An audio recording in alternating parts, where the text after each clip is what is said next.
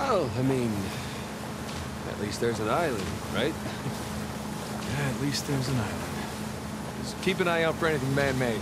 Ah, you mean pirate made. Sure.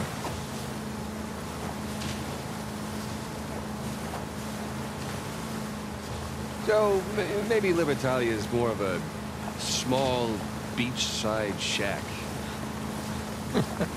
Yeah, maybe it's a tree house. Maybe Avery spent his entire fortune setting up this treasure hunt and ran out of money to actually build Libertalia. Yeah. Hey, what if he did run out of And both of us better find a place to hide.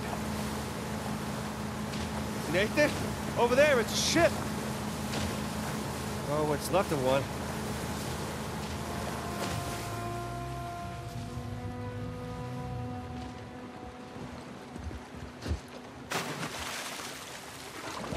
Marco! Marco what?